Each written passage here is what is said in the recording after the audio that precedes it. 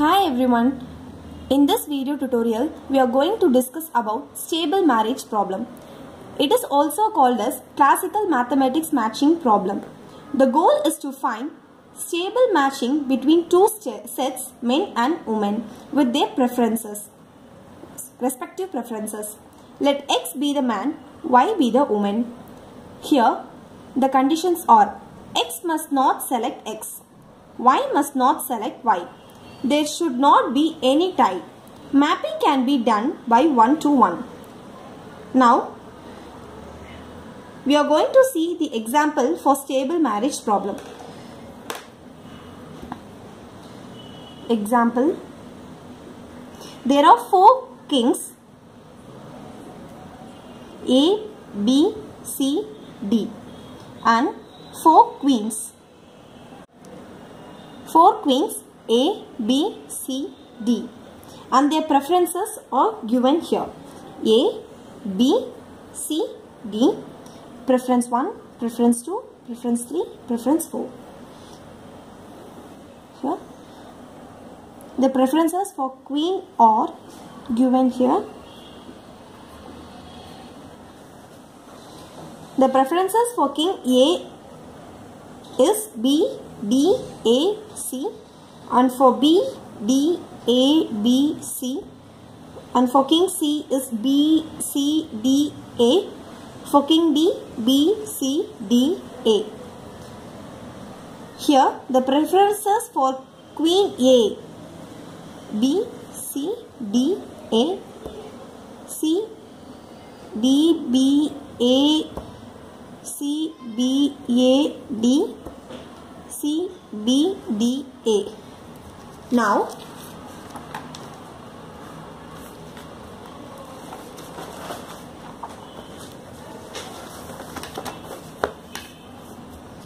the four kings and their respective preferences should be written here. B, D, A, C, D, A, B, C, B, C, D, A, B, C, D, A. And their respective preferences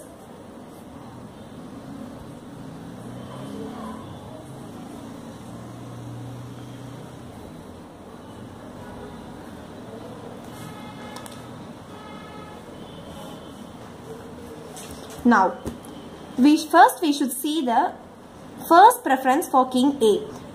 King A's first preference is Queen B. Now, we should match Queen B with King A. Then, we should see for King B. King B's first preference is Queen D.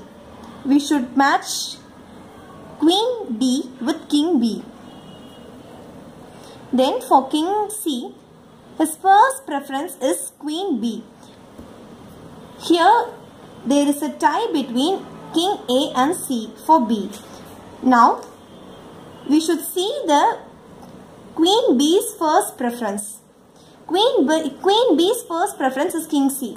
So Queen B should be matched with King C.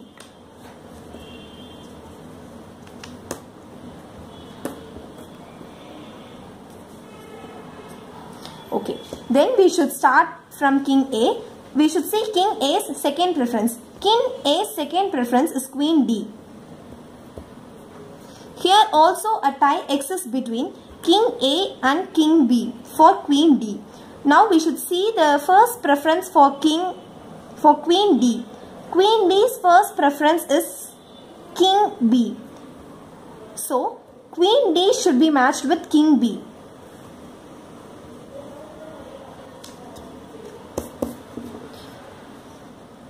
Then again, we should see for King A, King A's third preference is Queen B. Now, Queen A should be matched with King A. B is already matched with Queen D. King C is matched with Queen B. Then for King D, King D's first preference is Queen B. Here the tie exists between King C and D. For Queen B. Now we should see the first preference for Queen B. Queen B's first preference is C. Then B should be matched with King C.